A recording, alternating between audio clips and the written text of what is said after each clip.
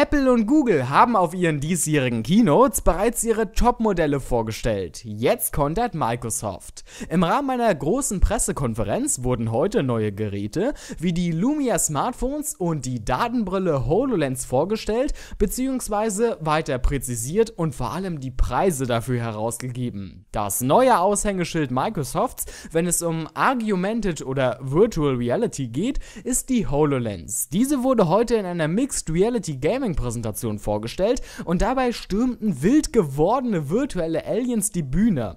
Ausgestattet ist die HoloLens mit einer speziellen Linse, Raumklang, jeder Menge Sensoren, einer CPU, Grafikeinheit und einem speziellen Holographic-Prozessor. Dabei kommt die Brille ohne Kabel oder Verbindung zum Smartphone oder PC aus. Microsoft HoloLens wird in der Development Edition für Entwickler ab dem ersten Quartal 2016 für 3000 Dollar erhältlich sein. Microsoft hat außerdem auf seinem Hardware-Event erwartungsgemäß auch eine neue Version des Microsoft Bands vorgestellt. Neben einem angepassten Design soll die neue Microsoft tragbare Generation noch besser als Tracker in allen Lebenslagen seinen Dienst tun. Das neue Microsoft Band verfügt über ein deutlich gebogenes OLED-Display, das von Gorilla Glass 3 geschützt wird.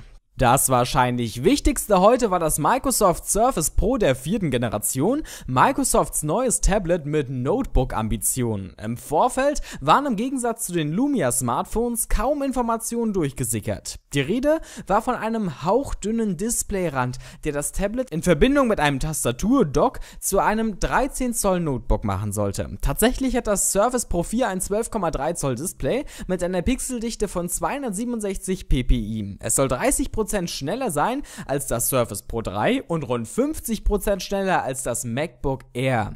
An Bord sind bis zu 1 TB interner Speicher und bis zu 16 GB Arbeitsspeicher. Am 26. Oktober kommt das Surface Pro 4 in den Handel für Preise ab 899 Dollar aufwärts.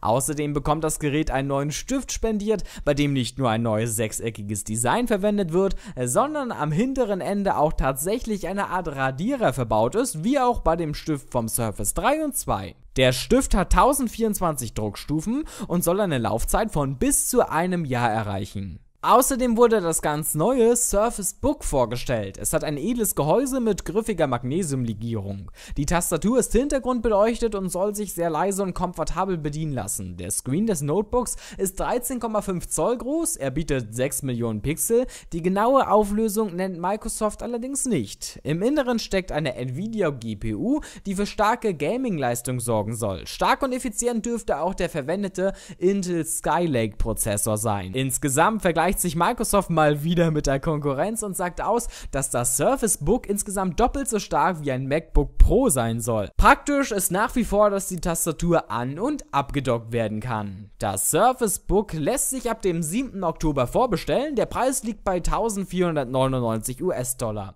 Der Erscheinungstermin im Handel ist der 26. Oktober. Die Lumia Smartphone-Reihe ist auch nicht auf der Strecke geblieben. So stellte Microsoft das Lumia 950 und das 950 XL vor. Intern haben beide 32 GB Speicherplatz. Per MicroSD-Karte lässt sich dieser um bis zu 128 GB erweitern. Die Akkus haben Kapazitäten von 3000 und 3300 mAh und können drahtlos oder per Schnellladegerät aufgeladen werden. Beide haben einen USB Type-C-Anschluss sowie eine 20 Megapixel Kamera mit dreifachem LED-Blitz für bessere Ausleuchtung bei Blitzaufnahmen. An Bord ist außerdem eine Gesichtserkennung für die sichere Anmeldung über Windows Hello, vorerst allerdings nur im Beta-Stadium. Als Prozessor kommt der 4-Kerner Snapdragon 210 mit 1 GB Arbeitsspeicher zum Einsatz, 8 GB interne Speicher stehen zur Verfügung, die Kamera löst mit 5 Megapixeln und die Frontkamera mit 2 Megapixeln auf. Microsoft mischt damit aus meiner Sicht